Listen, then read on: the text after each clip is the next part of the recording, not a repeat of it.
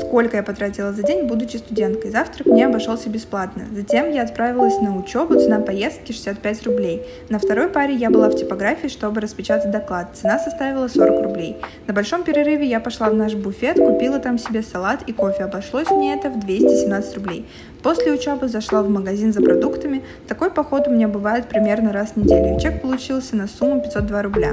Дальше дорога домой 65 рублей. И вот сумма за день. Всем пока!